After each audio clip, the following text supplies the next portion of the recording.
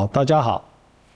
那我们今天的主题主要就是以中医如何抗忧解郁，那来今天跟大家来做一个分享。那这进入这个主题前，我想我们总是要了解我们老祖宗到底顺应事实的变化，我们应该要有什么样的态度呢？在春天的时候，我们讲春天三月，好，此谓发陈，好。夜卧早起，广步于庭，披发缓行，以使自身。的意思就是说，我们在春天三月的时候啊，万物开始齐发哦。但我们要呢，那时候天气还有一点寒，所以我们要晚一点睡，早一点起床哦。然后早上起床的时候呢，在我们的花园好好的散步。然后呢，衣物呢也不用那么的拘谨哦，就是稍微轻松一点。这个主要的目的就是让我们的志向、我们的情志能够自自然然的发生。好，那到了夏天呢？啊，夏天三月啊，此谓翻秀啊，天地气悄啊，哎，万物华实。好，那这个时候呢，老祖宗告诉我们，你可以晚一点睡，但是呢，要早一点起床哦，无厌于日，不要害怕太阳的阳光太大。这个时候呢，使志无欲无怒，就是告诉我们，让我们的志气不要有怒气，要好好的向上发展啊。所以这个就是我们夏天三月要注意的地方。好，那接下来呢，是我们的秋天到啦。秋天呐，此谓荣平。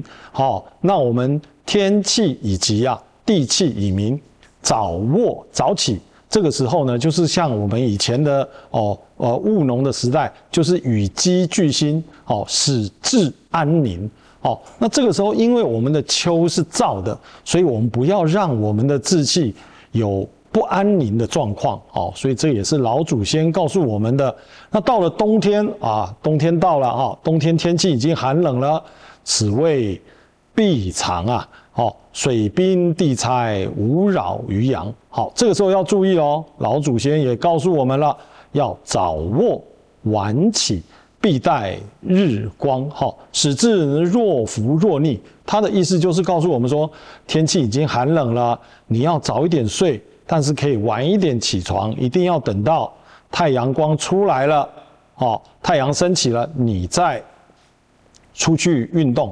那这个时候呢，让我们哦，春天、夏天、秋天的志气呢，好像若隐若现的，哦，必藏在我们的心里。好，那这样子的话呢，就是我们老祖宗告诉我们的春夏秋冬，我们情志上面应该要注意的地方。哈，那我们顺应事实以外呢，其实呢，这个地方我们也要告诉大家哦，在老祖先在《黄帝内经》就已经告诉我们了，这边有。哦，十六个字哦，是大家哦耳熟能详的哦。其中就是正气存内，邪不可干，也就是告诉我们呢，如果你的免疫力、抵抗力好的话，你根本不怕病邪入侵你的身体来干扰你正常的生理现象哦。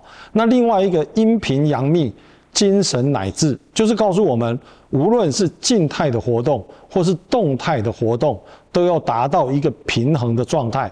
这样子的话，你的身心才会达到一个平衡。也就是说，动态也不宜过多，静态也不宜过多。哈，那这样子我们身体才会达到一个比较平衡的状态，也就是我们平常讲的阴阳平衡。好，好，这个是老祖先已经告诉我们的啊。那接下来我们就要告诉大家几个比较重要的穴位。哦，当然穴位很多，我们这边就提出三个。第一个呢，是我们的百会穴，它也是我们督脉里面非常重要的安神定志的穴位。那百会穴很简单，就是在我们两边耳朵连线，哦，画一条线，然后我们从印堂这边也是画一条线，跟它十字交叉的地方就是我们的百会穴，也就是我们平常看到四个月前的小朋友那个囟门跳动的地方。这就是百会穴，最主要它有安神定志的作用，同时它也有醒脑益智的作用，也就是可以帮忙我们记忆力的一个恢复。好，那这是我们讲的督脉的百会穴。那另外一个呢，我们也来教大家一个比较非常有名的穴位，叫做内关穴。那内关穴呢，位在我们的手的腕横纹上面两寸的地方。好，在这个地方刚好两筋之间，我们在按压的时候，手可以放轻松。好，用拇指按压这一个点。那这个是我们宁心安神哦，非常有用的穴位。平常我们中医师教导病人，哈，如果太紧张或是有一些压力的时候，我们就可以按压这个所谓的内关穴，哦。那这个内关穴，哦，请大家，呃，如果有，呃，呃，比较紧张的时候，我们就可以使用到这个穴位。那另外一个呢，我们来讲另外一个穴位，叫做合谷穴，哦。那合谷穴呢，它是一个，哦，宁心安神止痛的穴位。那个合谷穴在我们。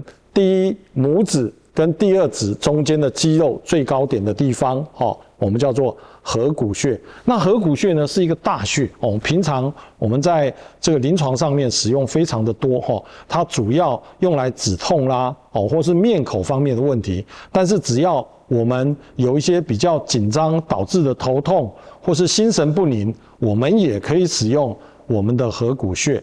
好，来做一个比较诶安神定志的作用。好，那以上介绍这三个穴位。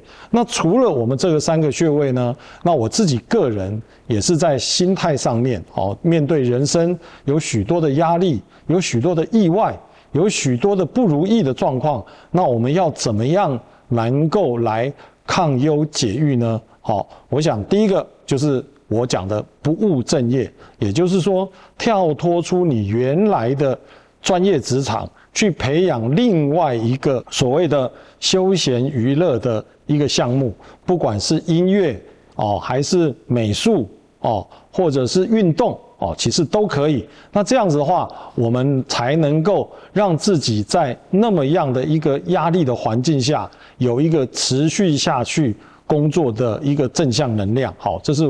我第一个要跟大家分享的，好，另外在面对人生的一些呃处境上面，我也在这边跟大家分享一句话，叫做“谨记感恩，遗忘失语”。那这句话怎么说呢？也就是说，我们应该要去记得曾经帮助过我们的人，但是呢，我们应该要去遗忘我们曾经帮助过的人。我相信，如果这样子的话，你才能够心无挂碍。然后勇往的向前哦，那遇到任何任何的一些困难、意外、不如意，我相信你都能够迎刃而解。好，那以上就是我今天在这边跟大家分享的，呃，有关于中医抗忧解郁的内容。谢谢大家。